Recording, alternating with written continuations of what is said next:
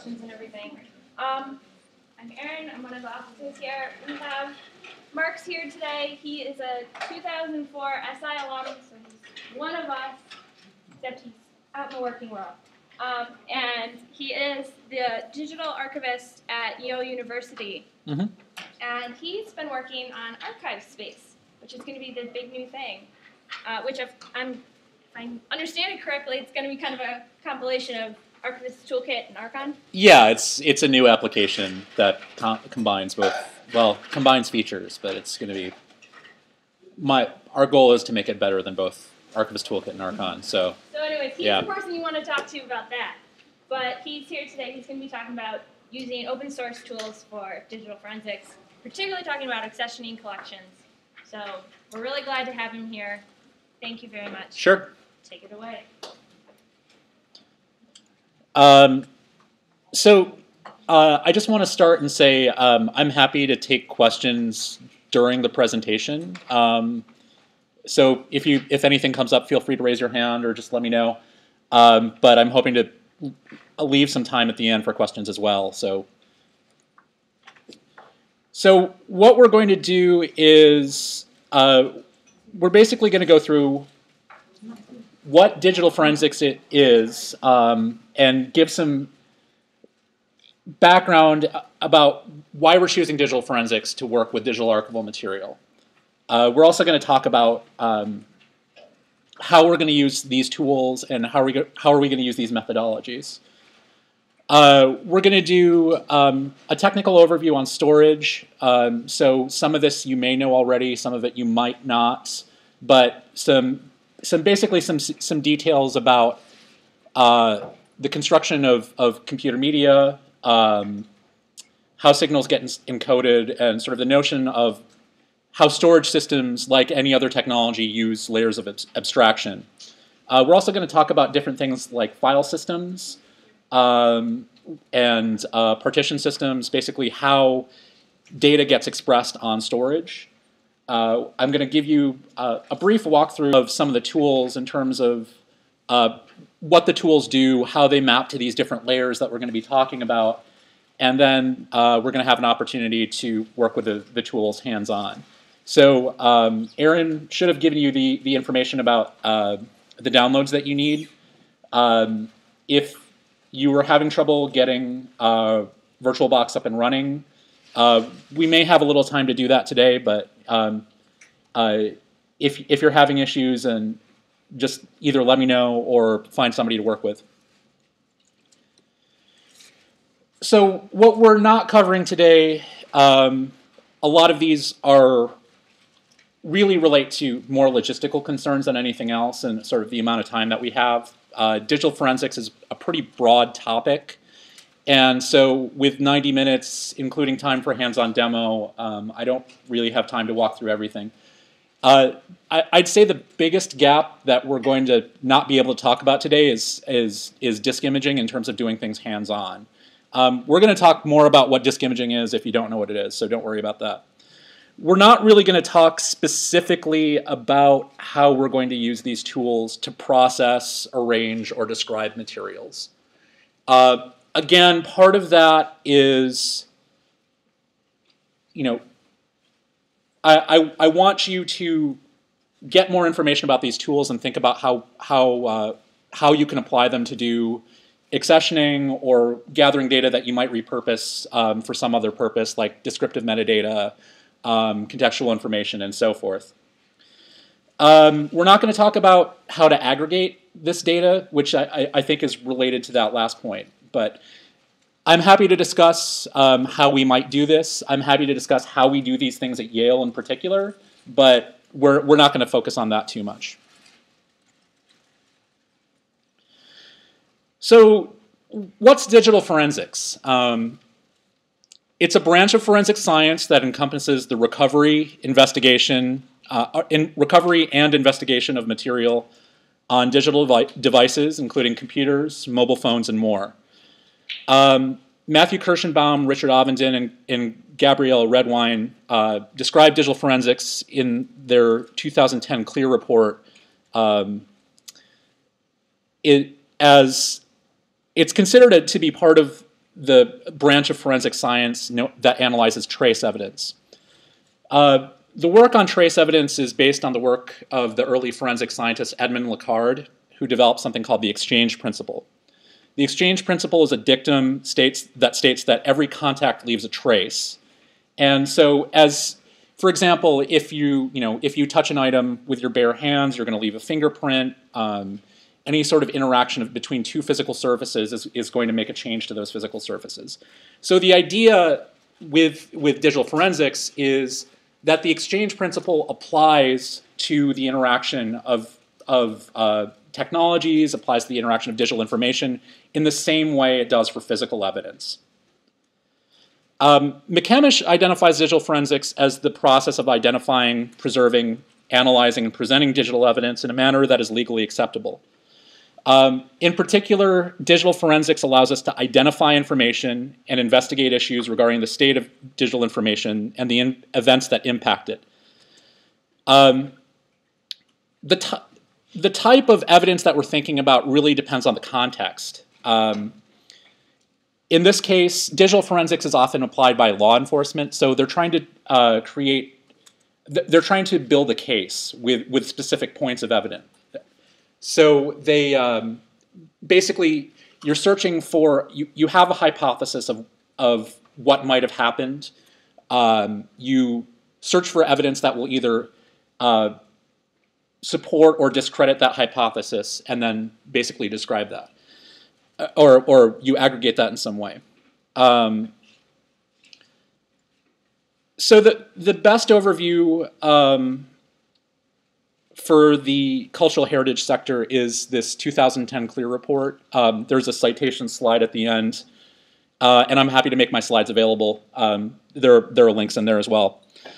Um, a lot of uh, important work has happened in digital forensics in the cultural heritage sector within the last three years or so. Uh, this includes the AIMS project, um, which is Born Digital uh, Collections and Inter Interinstitutional Model for Stewardship. This was an Andrew W. Mellon Foundation funded project that uh, Stanford University, Yale University, University of Virginia, and University of Hull participated in. Um, I was a digital archivist on the AIMS project for about my first year and a half at, at, uh, at Yale.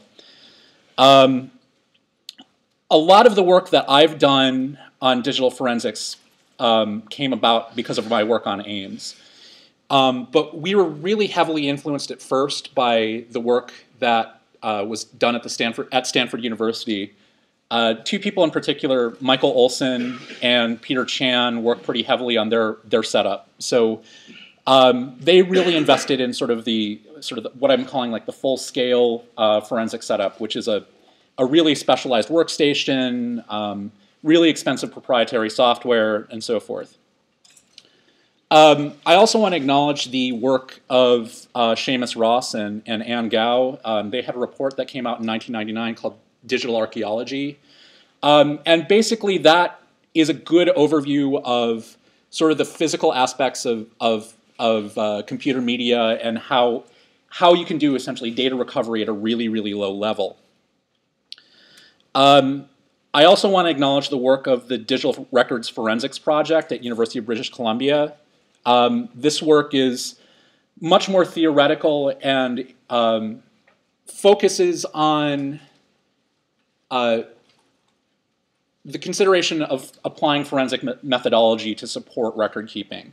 So we're focusing more on technology today, but the you know I I definitely look at the work that the the folks at UBC are doing because it's it's really interesting. So digital forensics has several subfields. Um, in some cases, they're dependent on the tools and the techniques of others. So uh, we're primarily going to be looking at something called file system forensics today. Um, and it relates to the static data that's stored on some sort of medium or device, including hard drives, removable media, and so forth. Um, incident response concerns the work of first responders who gather evidence from the, the scene of a crime or another event. Intrusion detection is mostly situated within system administration uh, and computer security and, and, focuses on what we're calling the analysis of live operational systems. mobile device forensics should be pretty obvious. Um, it relates to the analysis of data and use of cell phones, tablets, PDAs, and other what I'm calling small devices. Um, in part, the, the main distinction between mobile device forensics and file system forensics is, at least with some mobile devices, they use uh, slightly different types of file systems or slightly different types of technology. Uh, more recent uh, mobile phones, such as like if you have a smartphone or if you have a, a PDA or an iPad, a lot of the same same um, same tools uh, we use for file systems forensics might be useful, but if you're looking at sort of a traditional cell phone, it might be a little bit more. It, it might be somewhat different. Um, network forensics concerns the monitoring analysis of computer network traffic. Um, this is uh, definitely sort of out of scope for our discussion today, but there are a lot of really interesting things going on with network uh, forensics. Uh, it's often uh, done in combination with incident res response and intrusion detection. And database forensics relates to the forensic study of databases and their related metadata to investigate changes to data or transactions within them. So, for example, if a lot of data forensics work, uh, database forensics work um, investigates whether transactions might be falsified in cases of fraud and so forth. So I want to talk a little bit more about the motivation. So as archivists, we understand how to get from an unorganized uh, aggregation of materials into something that we think is organ organized. Uh, we have a standardized set of procedures. We, you know, we have requirements for accessioning we know how to process the materials, and it's very easy to get in an, to be able to analyze a large swath of material by doing you know by doing things like sampling and things like that. It's a very you know it's definitely an intellectual process, but it's it's certainly visual. You know, if you're working in the field and you're trying to appraise something, um, if you have some knowledge of the subject, you can make a fairly educated guess whether those materials will be worth something by, by looking at them. You know, you might spend a, an hour with a donor looking at, you know, 50 box collection and picking out which ones you, or picking out the majority of, of which you'll find your repository will be most use, find most use, excuse me, find most useful. And so my point is, should these be any different? I don't, and my assumption is no. Um, these are uh, pieces of media in our collection at Yale. Um, we've got data tapes, We've got you know three different kinds of floppy disks, zip disks, optical media, hard drives, and occasionally full systems. So part of the issue that we're having is there's a, this conceptual gap between being able to understand how to do the same sort of analysis with digital materials that you are you're able to do with physical materials. So in my opinion, I, I, think digital forensics gives us a lot of opportunity to think about how to apply to apply some of these um, procedures in a in definitely I think a much more methodical way, and in a way that uh, allows us to make fairly educated assumptions about what the material is or how it's used. So in, in terms of why we might choose digital forensics, the, the the first reason I, I find the most compelling, it's an established discipline um, that really focuses on clear ideas such as chain of custody. Eh, you know, there, there are legal requirements for forensic process. There's an established, it's an established discipline that has legal requirements and best practices. Um, there are certifications for, for forensic examiners and so forth it demands the holistic capture and preservation of evidence. So the assumption is you're just going to collect as much as possible, but then be able to do some analysis to figure out what is relevant and what's not relevant. Archives are faced with this growing mass of digital information um, that is hard to appraise in the field. We don't have a good way to make educated guesses in the same way that we do uh, with, with boxes of material. A lot of it's stored on removable media, so there's a risk of uh, the degradation of that media. There's also a really significant overlap in terms of the skills and knowledge um, applied in digital forensics. And there, there's definitely many potential opportunities for collaboration, which I'm going to talk a little bit about later.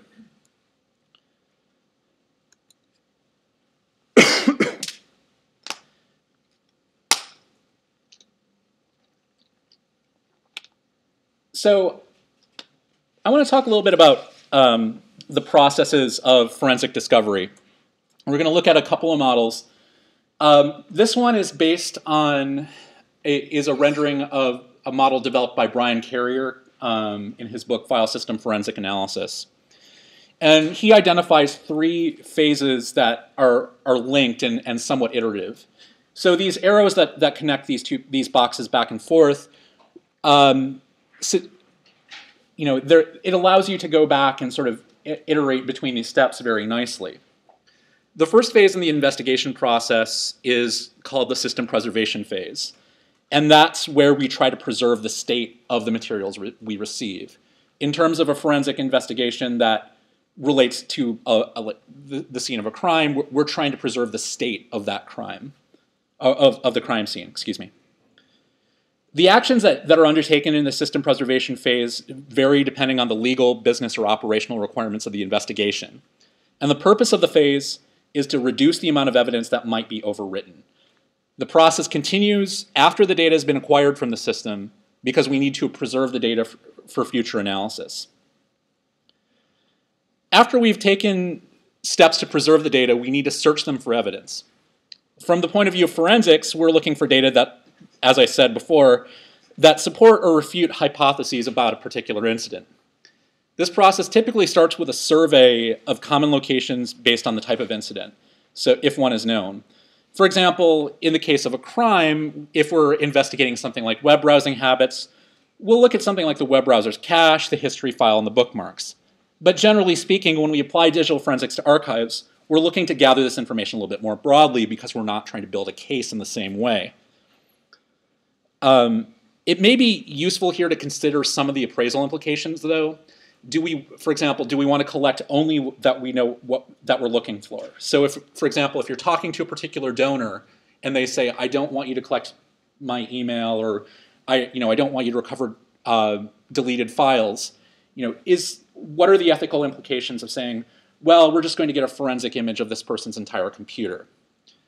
The other consideration is well, do we want to try to collect things that we don't necessarily know that we're looking for? If we have a, a, a donor who's being very who's very willing to sort of say, yeah, just take everything. You know, I understand the privacy implications. Uh, do we do we want to collect information that might be viewed as an outlier, or you know that that may not be viewed as significant from a traditional appraisal context? I find it really interesting in this case that a lot of the, the uh, use of digital forensics is focusing on the collections of, of uh, literary authors. And um, literary scholars in particular are very, very interested in getting this sort of broad swath of material. And so it, there, I, I, think there's, there's definitely a potential to sort of figure out what's the most appropriate way to situate this in terms of the work that you're doing. The last phase in Carrier's model is uh, to use evidence that we found and develop and determine which events occurred in the system. Carrier's definition of investigation is that we're trying to answer questions about digital events. And so event reconstruction requires knowledge about the applications and the operating system that are installed in the system so you can create these hypotheses based on their capabilities. So today we're going to be focusing primarily on the first two phases of, of, of this model. Uh, this is also a, a, another model that I find pretty useful, which is the uh, electronic discovery re reference model stages, uh, or these, these stages from the electronic discovery reference model. Um, the EDRM is used for, uh, is uh, an abstract model used in e-discovery, for example, for, for uh, for legal purposes. The, the three most important phases for our discussion that map nicely to um, the first two phases of, of Carrier's model that we looked at are the preservation, the collection, and the processing phases. In the preservation phase, um, we're aiming to promptly isolate and protect, protect potentially relevant data in ways that are legally defensible, reasonable, proportionate, efficient, auditable, broad but tailored, and to mitigate risks. So one of the things that to note about the, the, the EDRM model is that throughout these phases, there's this notion that you should be able to uh, provide status and progress, um, provide documentation for a defensible audit trail, and continually do uh, quality control and validation. The collection phase in the EDRM model is uh, the acquisition of potentially relevant uh, electronic information as defined in the, the identification phase, which we, we didn't really talk about, but we, we can come back to that if you'd like. The exigencies of, of litigation, governmental in inquiries, and uh, internal investigations generally require this, this digital information and its associated metadata should be collected in a manner that is, again, legally defensible, efficient, auditable, and targeted. So the process of collecting this information will generally provide feedback to the identification function, which may impact and expand the scope of the overall electronic discovery process. So again, this may, the, the information that you collect here may influence particular appraisal decisions that you make. So that's uh, so again, it's important to, to note that a lot of this is really designed to be iterative.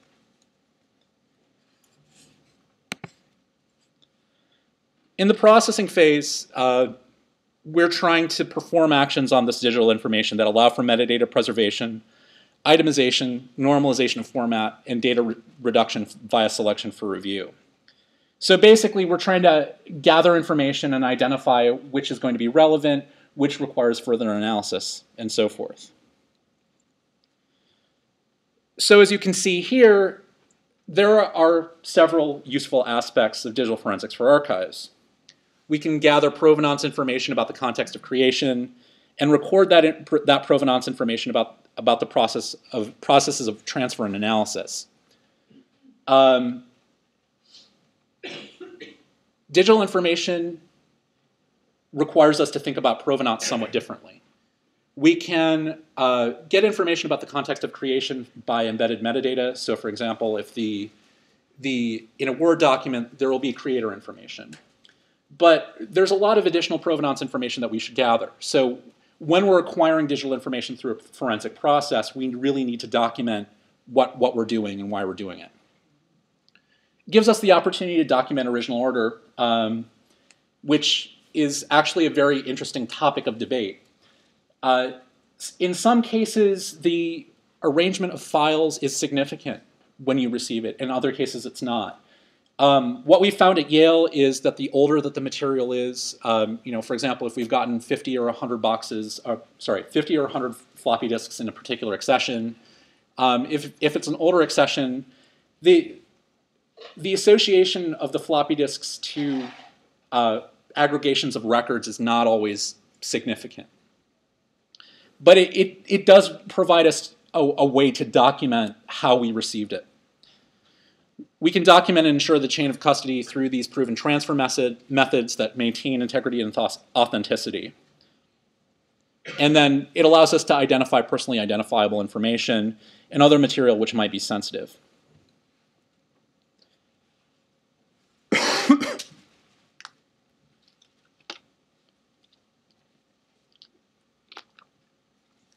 so this is, um, this is an overview of a workflow model developed by Kam Woods, Cal Lee, and Simson Garfinkel, um, which basically maps some of the processes of, uh, of uh, forensic, forensic information gathering to traditional archives processes.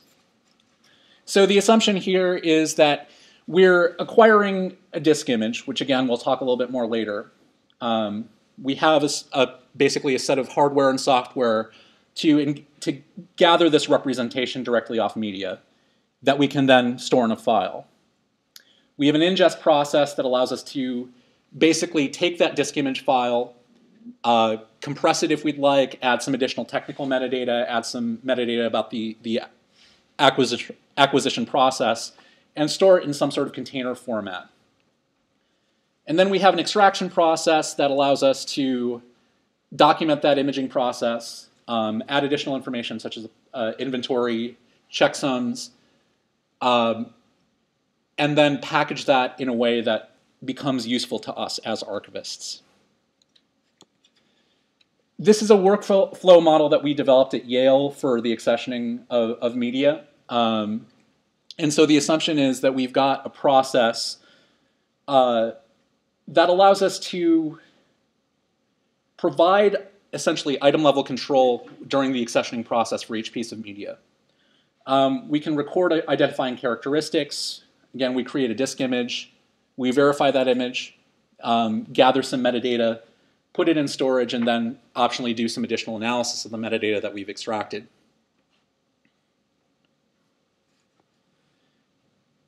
In terms of transfer, um,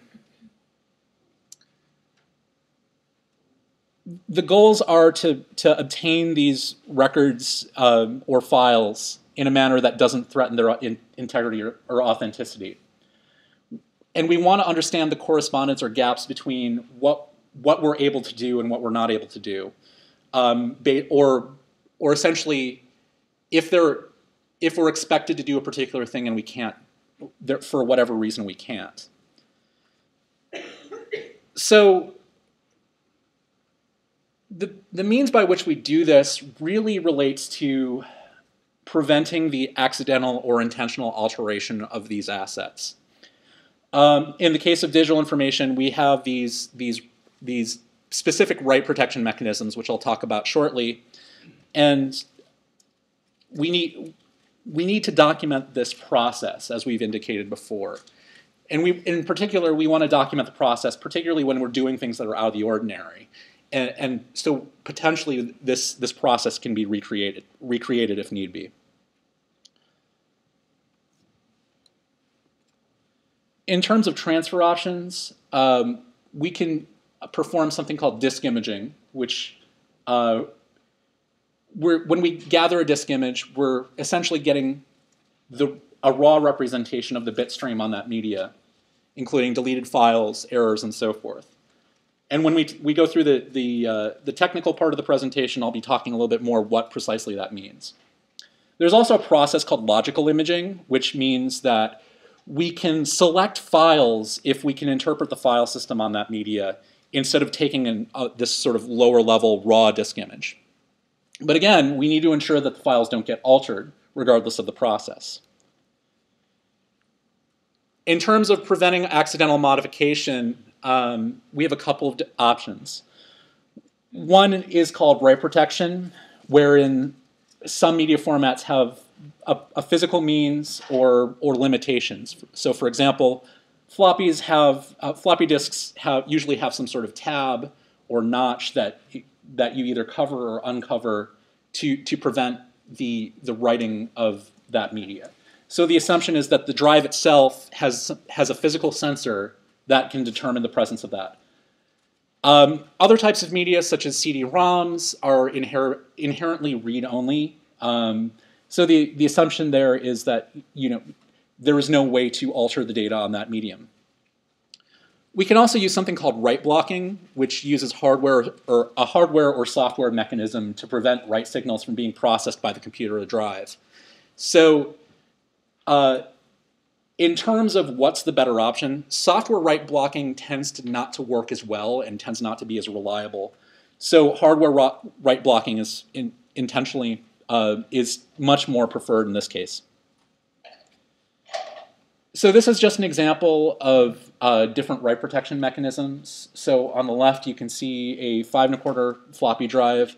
There's the write protect notch on the right-hand side.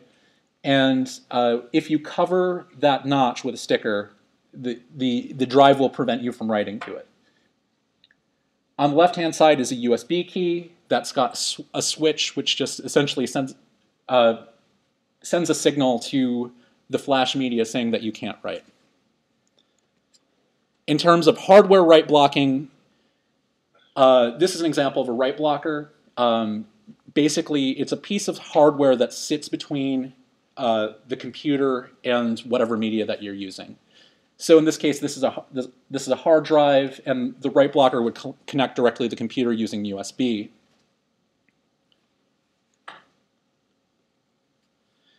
In terms of documentation, um, at least in our process at Yale, we, we wanted to identify and record characteristics of media. Um, we wanted to provide each piece of media with a unique identifier. We want to record physical information about that media, such, um, such as its format, it, any sort of label information, and, and so forth. We want to document the transfer process, as I said before, and ideally um, gather information about the about the assets on that media. At Yale, we have a, a database called our um, Media Log, which provides us the capacity to create a unique entry for each piece of media in an accession. So we assign an identifier uh, to, to each piece of media, and um, we can record additional information.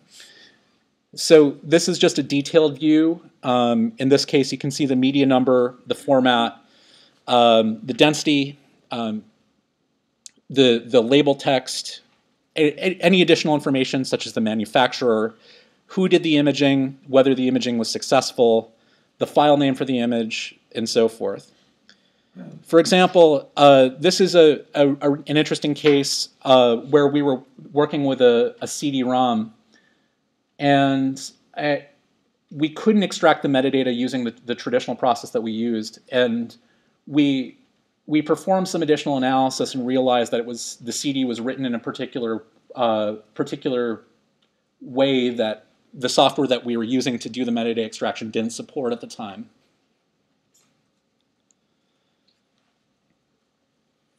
In terms of uh, the our goals for extracting and analyzing data, um, we want to be able to repurpose this metadata.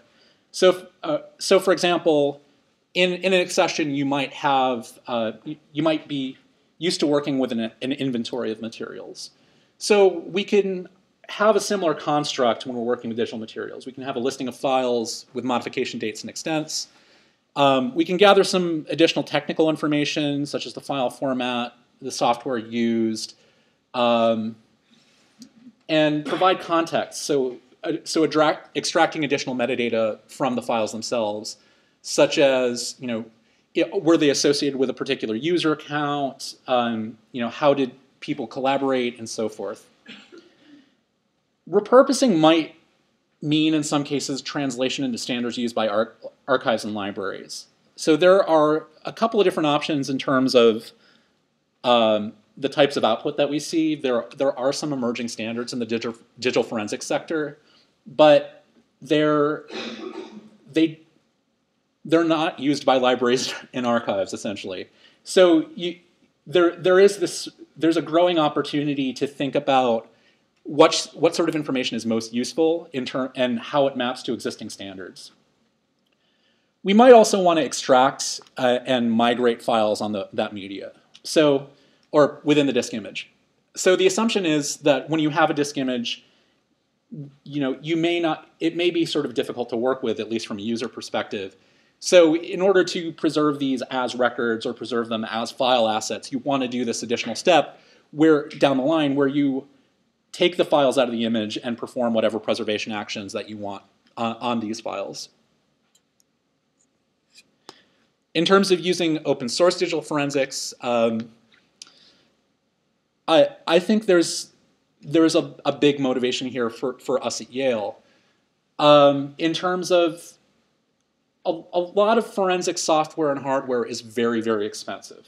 Um, the cultural heritage se sector is really an emerging market for digital forensics vendors. They haven't been terribly responsive, in part because we are such a small market for them. Um, open source, as such, allows for better collaboration, and and in particular less dependence on, on particular companies or individuals. Um, the, the digital open source digital forensics, forensics community is pretty vibrant and a lot of these tools are under pretty heavy development. That doesn't mean these tools are not stable, but the, there, there is the potential to work much more closely with vendors and digital forensics experts who, who work with these open source tools. From the standpoint of accountability, um, I think the transparency of design and implementation of open source software allows for a better understanding of impact on, on authenticity. And as I said before, because it's open source, we have the potential to shape the future for the software. So part of that is you you may hear that open source is is free, and but it's not. So there, there's sort of two notions of free. There's free as in beer, and there's free as in kittens, and then there's there's there's free in terms of speech. So a lot of people say that open source is free as in speech. You're allowed to do with it whatever you want. So obviously in this case, this, this, is, this is true for us. We discovered digital, open source digital forensics software, and we had the opportunity to work with, you know, to work on our own and explore things and do some additional development to, to try this out. But open source is also free as in kittens. You have to feed the kitten, you have to take care of the kitten, you have to give the kitten shots. So participating in an open source community really sort of requires you to step up and think about, you know, what what might you contribute uh, contribute to the community. We haven't done a lot in terms of contribution. We, we've shared a lot of what we've done already in terms of some, some additional development and integration work.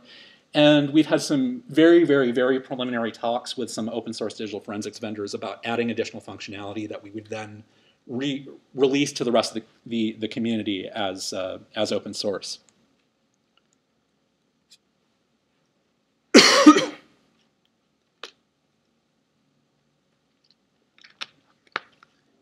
So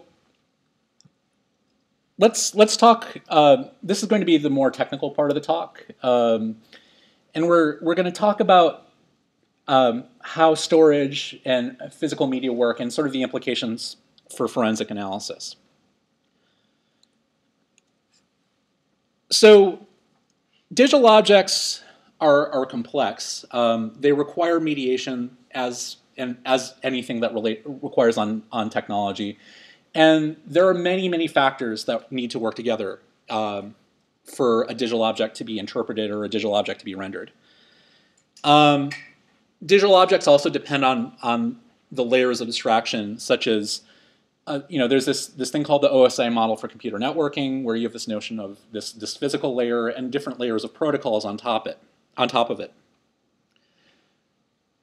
Ken Thibodeau's notion of a, a, a three-part model for digital objects I find is really, really useful here. There's a notion of a physical object in case of digital of a digital object. Um, digital objects are always stored on some sort of media.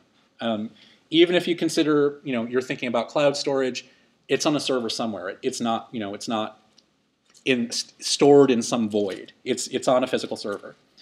There are logical objects um, which uh, the computer interacts with. So at the level of files and at the level of, of other things that we're going to be looking at shortly. And then there's a notion of the conceptual object, which is what we work with. So, you know, we have, you know, we may work with a file which turns out to be a Microsoft Word file, but it's, you know, it's a report. The, the report is a conceptual object. There are different levels of representation, and this was a, adapted from um, a presentation done by Cal Lee at um, the ICA conference this August. And so the levels of representation go from essentially the, the most raw at the bottom all the way to the top. So at level zero, we have a, a, signal, uh, a signal on a physical medium. So all, me, all computer media require uh, uh rely on some sort of physical properties of that medium to, to encode an analog signal. So we'll talk a, a little bit more about specifics in, in, terms of how that works shortly. Um, there's the, a raw signal stream through, through input and output equipment. So that, that stream of, of anal that stream of, of analog information that's uh, stored on that medium is then interpreted into an analog uh, uh, uh, electronic signal that has not been interpreted into bit streams. The next level up is the bit stream through the I.O. equipment. It's the, the actual ones and zeros as accessed and decoded using a particular set of algorithms. Um, we have this notion of, of chunks of data above that, uh, individual files as raw bit streams uh, um, that are stored as continuous binary values. Uh, files encountered as discrete sets of items with associated metadata, such as paths, file names, and so forth. Um, the, app, the, the file as rendered in a specific application, a notion of, of objects which comprise multiple files, and, and aggregations of objects that can focus on even higher level conceptual objects um, that we talked about before. This is a representation of storage hierarchy in computers. Um, at the top are very, very fast and very expensive storage areas. So essentially, at the top, you have this level of um, the, the storage hierarchy at the top is storage that is essentially immediately used by the computer. It's, it lives both physically and virtually close to the processor. Um, so you have registers in the processor itself, itself which store values, um, and the processor cache. The next level uh, down re requires the computer to be on, but are, are short term, they're, they're fast, um, but they're not persistent. So you have data in, in, in RAM on your computer. The next level down um, are uh, removable, uh, removable media that allows you to, to store things with a power off. So example, uh, flash drives, USB memory, CDs, floppy disks, etc. You have uh, sort of longer term, um, larger blocks of storage, such as hard drives, and at the bottom, um, very long term, very persistent types of storage, such as tape backup. So what we're going to be talking about today is most is mostly the second half, second bottom half, or sorry, the bottom half of this this pyramid. In particular, this the sort of the the fourth and fifth levels down. In terms of the layers of forensic analysis, this is a model developed by again by Brian Carrier, and so right now, um, again, as you can see here, there's there's a this hierarchy of, of relationships between the media itself, something that we're calling volumes, which I'll be talking about in a little bit, um, the file system, and and the applications. So these are again sort of levels of aggregation that require different uh, different processes of interpretation. In terms of uh, physical media and signals, um, floppy disks and hard drives record, use changes in something called uh, magnetic flux that are encoded and decoded using a particular algorithm. So there's a there's a, a number of algorithms, and in many cases, um, a, a lot of this interpretation happens at the level of an of the interface card to that drive. So for example, for hard drives, this often happen, happens on, on, there's a card itself connected to your hard drive. If, so if you have a physical hard drive, there's this card underneath. That, that, that does the sort of the minimum level of signal processing itself. Um, there are many encoding schemes, um, and depending on the type of controller card, uh, it, it may not they may not always be interpretable depending on the type of controller card that you have. So for example, with some types of floppy media, you might find if you have, you know, say you have a three and a half inch floppy drive, um, and you have a, a disk, like a, a double density three and a half inch disk from uh, a Macintosh. That disk was written using a particular encoding scheme that is not typically interpretable by um, something like a USB floppy drive or a floppy drive in a PC. It requires a different level, of, uh, a, a, different set of, of decoding instructions. Optical media use physically, a physically altered substrate. Um, in the case of CDRs, there's a particular dye that's responsive to lasers. Um, with these things called pits and lands that determine the reflectivity of, of light shown on them. Um, again, these are encoded and decoded using series of, series of algorithms. Flash memory is um, not, I'm, I'm definitely oversimplifying it here, but it uses stored amounts of electric charge to determine uh, how data is stored. So in, in in looking at storage, it's useful to think about, uh, particularly with uh, magnetic media, something called disk geometry. So basically, there the the disk ge geometry is um, is really useful when thinking about computers because the, the computer processor has to manipulate data in the form of bit streams. Moving data from, the hard, from a hard drive, for example, from, to the processor depends on higher level groupings. And geometry is a way to provide addressing information for the location of data on that media. Sectors are the smallest unit that can be addressed at a low level by the computer, and uh, depending on the type of storage and system in use, um, they have a specified size. Sectors are defined by low-level formatting, which, require, which defines the required ge geometry in a given context. Um, something called a data unit, um, in some cases it's called a cluster or a block, is the smallest grouping of sectors that can be addressed by a given operating system. And these vary in size depending on uh, operating system type and the size of the storage device. So in this case, in the bottom image, we're looking at a, a, a essentially a view of a, a, hard drive.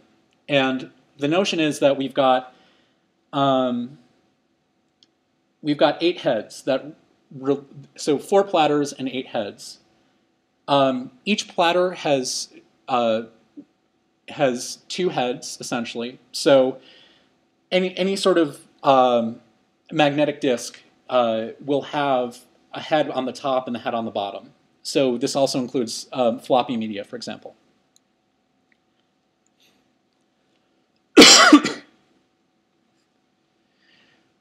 so uh, what's disk imaging? Um, it's a process that runs through the levels of representation 0 through 2 that we looked at before.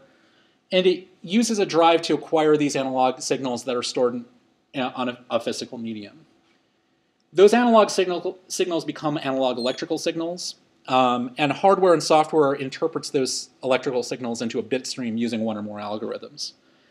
So, for example, this is a screenshot of, uh, of the disk imaging application for a particular piece of hardware called a KryoFlux. So a KryoFlux is, is a, a very, very specialized floppy disk controller that um, rather than letting the controller card itself do the interpretation and do the decoding using a series of algorithms, the software does it. So the assumption is here that if we have a piece of media, um, we can um, we can do essentially uh, if we weren't able to interpret the, those signals themselves using a, using a traditional floppy drive controller, we can get that data here. In this case, this is a, um, a single-sided disk, so you see, so the side zero, that's just one of the two heads for the disk. Uh, on the right-hand side is a repre representation of that signal on this disk. So the software has decoded this using a particular algorithm. There's a number of disk image formats. Um, there's uh, raw images, which we use, um, a number of different container formats that allow embedded metadata, and so forth. So um, the next level up, once we have a bit stream, is we can do some volume analysis, which is um, volumes are defined as the, the collection of addressable sector, uh, sectors usable for storage. Uh, the sectors in a volume don't necessarily need to be consecutive on a physical storage device. Instead, the computer only needs the impression that they are. Uh, and a hard disk, for example, is uh, a volume that's located in consecutive sectors and it might be the result of assembling and merging smaller volumes. A partition is a collection of consecutive sectors in a volume, and by definition, a partition is also a volume, which is, which is a little confusing. Partitions are, are also used in many scenarios, including compensations for limitations on maximum file size, to impact the to minimize the impact of file system corruption or to store different operating systems on a computer. A partition map is uh, a metadata structure that describes the layout of partitions in the volume, and which we'll look at shortly. And there are a number of different partition formats. By far, probably the ones that you'll, you'll be working with the most are DOS, GPT, and Apple partition maps. Not all media use partitions, however, um, in particular, a lot of removable media, so it's much more common with hard drives. This is an example of the organization of partitions. This is, so this is a particularly complex one where there are six partitions on, on a, a given drive. Um, the sort of the, the narrow vertical columns represent the partition maps. And so there are particular Depending on the partition system, there might be a limit to the number of partitions that each can map to, requiring nesting as shown here. So once we interpret the volume system and have access to the volumes, we can perform some file system analysis. File systems are a mechanism to store data in, in a series of files and, and directories with associated information or metadata about those uh, using a unified set of procedures. So the assumption with a file system is that it essentially provides either some sort of de facto standard or specification for, for accessing those files. Um, the model that we're going to be looking at today uh, separates information and content into layers or categories. This is Carrier's representation of the different file system data categories. Um, there's something called the file system category, which contains the general file system information. Um, all, all, file systems have a general structure to them, but each is an instance of a file system. Uh, each, but each instance of a file system is unique because it has a unique size and can be tuned for, for performance. Data in the file system category might tell you where to find certain data structures and how big each, each data unit is. You can think of this, data, this category as a map for a specific file system. The content category contains the data that comprise the actual content of the file, which is the reason why we have file systems in the first place. Most of the data in a file system belong to this category, and its file systems are typically organized into a collection of standard sized containers. Each file system assigns a different name to the containers, such as clusters or blocks, but in this case we're just going to call them data units. Working with a content category allows you, to, allow, allows you raw access to underlying data units even when other layers say they're uh, unallocated or unused. The metadata category contains the data that describe the file. Um, this category contains information such as where the file content is stored, how big the file is, times and dates when the file was last read from or written to, and access control information. This category doesn't contain the, the content of the file, and it may not contain the name of the file. Uh, a metadata category can help you recover deleted files and gain access to something called slack space. And slack space is what occurs when the size of the file is not a multiple of the, the data size. Um, so a file system must, a, file uh, a file on a file system must allocate a full data unit, even if it only uses, uses a small part of it. And the unused bytes in this data are called slack space. For example, if you have a file that's 100 bytes long, it needs to allocate a full 2048 byte data unit on a particular kind of file system. So the final um, 1948 bytes would be slack space. Depending on the system, they might be filled with null characters or contain fragments of the data stored in the computer's RAM. The file name category, um, or also called the human interface category, contains the data that uh, assign a name to each file. In most file systems, these data are located in the contents of the directory and are a list of file names with a corresponding metadata address. With the metadata category, sometimes the file name category can help you recover deleted files as well. The application category contains data that provides special features, um, and these data are not used necessarily when it, it, these data are not needed in the process of reading or writing a file, and in many cases don't need to be included in the file system specification. So there are a number of file system types. Um, FAT, NTFS, HFS Plus, and ISO 9660 are probably the ones that you're going to be see the most. Um, ext2, ext3, and ext4 are used by Linux systems, but there are many, many others.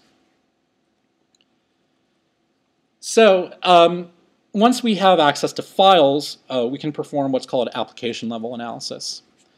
So application level analysis is what you typically think of when in terms of working with files. It can include things like file format identification, um, doing what's called carving, which is a specific method of data recovery that using uh, particular file signatures. You can calculate checksums or verify those checksums. You can search for other kinds of data. um, such as personally identifiable information, um, or perform virus checking. So now I'm just going to do a brief overview of some of the tools. Um, I'm going to probably speed through this so we have some time to do the, the hands-on demo. Um, so uh, the BitCurator project is funded by the Andrew W. Mellon Foundation, um, and the partners are the School of Information Library Science at, at UNC and the Maryland Institute for, uh, for Technology and Humanities. So BitCurator is developing a system um, for use by archives, libraries, and museums that incorporates a lot of functionality of these tools into a common environment. So part of the issue with a lot of these tools in particular is they're, they're somewhat hard to use or somewhat hard to install. So the idea with BitCurator is um, the, they'll essentially be pre-installed an environment that you can run on your computer. It's still very much under development, but so what, you're what we're going to be looking at today is a very early preview release. Uh, is the disk imaging software that's packaged with uh, the BitCurator project. Uh, it's open source. Um, it supports multiple imaging formats uh, such as uh, RAW, the EnCase E01 format, and AFF. E01 and AFF are the two um, the two formats that support embedded metadata, and it, it allows you to enter some basic metadata and, and calculate checksums uh, and verify those checksums once you've imaged the media. So this is just a, a screenshot of, of Guymager. As you can see, I'm looking at uh, the imaging a, a, particular hard disk here. Um, and you can see the form which allows you to enter additional metadata. The SleuthKit is an open source library um, which provides some command line tools and a GUI application called Autopsy. Um, it allows you to do forensic analysis. Um, it supports the analysis of a number of different kinds of file systems, um, most of which are pretty common. Um, but there, there are some gaps, particularly if you're dealing with older me media, you may not be able to use SleuthKit. Uh, it's it splits the tools into layers that we saw before. So there, there are tools to work with the volume system, um, file system, the file name layer, the metadata layer, and the data unit layer. And there, it also provides some additional tools to, to work with the data uh, that, that you've extracted.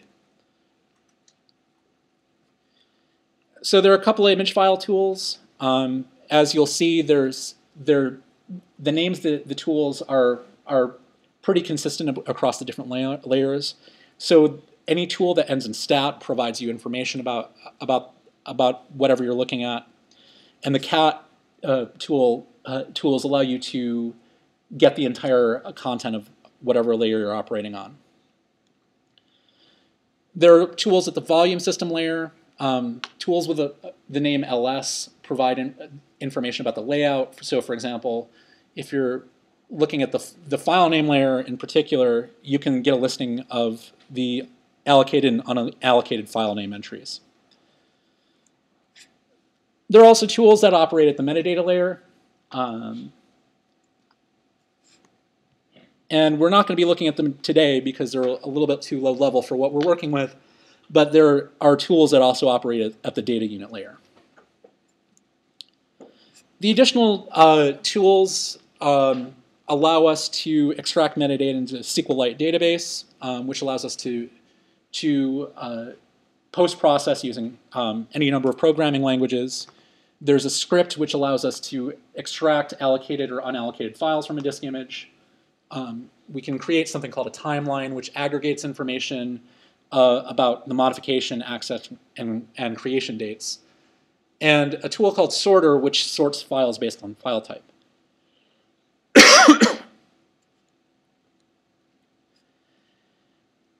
uh, is a command line program which depends on the SleuthKit. Um, it outputs results in, in multiple formats, but the one that I found most useful is called Digital Forensics XML. And it was developed to support automated forensic processing. Um, part of the issue with doing a lot of work with, with tools like SleuthKit is that it requires a, a lot of hands-on work at all these different levels. So with fiwalk, um, you essentially can make one, one pass with fiwalk and extract the data into a way that's easily repurposable. You can create plugins to perform application level analysis when you're doing the data extraction. And it's, as I said before, it's, it's much, much faster. So digital forensics XML is a, a representation of uh, structured forensic information um, developed by somebody named Simson Garfinkel from the Naval Postgraduate School. Uh, it's really easy to add additional information to DFXML. The, the standards are really, really flexible. And it's very easy to process. Um, the, with, with fiwalk, uh, a number of tools have been, pre, uh, have been packaged to allow you to do uh, analysis of that data. Bulk extractor is uh, another tool that I think you'll find really, really useful. I've only really started just uh, using it recently, but it performs something called bulk data analysis. Rather than um, gathering information about the file system and sort of going through the levels, it, it treats a disk image as, as a raw bit stream and just goes through everything in one pass and doesn't analyze the individual files. It allows you to um, find patterns of information of interest, so things like email addresses, URLs, PDF files, um, GPS coordinates, um, and so forth. And it's really good for identifying potential uh, issues of personally, personally identifiable information. So this is a screenshot of, of the program called BE Viewer, which um, is allows you to specify which scanners that you're, you're using over on the right-hand side. And this is just sort of a, a view of those tools. And so in this case, I, I'm looking at the output of uh, the, the pattern matching of email on a particular disk image. So in this case, rather than referring to a particular uh, file on the disk image, if you see on the right-hand side, you see something called the feature path. That is the reference to the particular location in the in the byte stream for for uh, for that data. So you, you you can use additional tools such, such as the ones provided by SleuthKit to to figure out which file that data is actually exists in. But that's not going to happen at, at this level within bulk, with bulk extractor.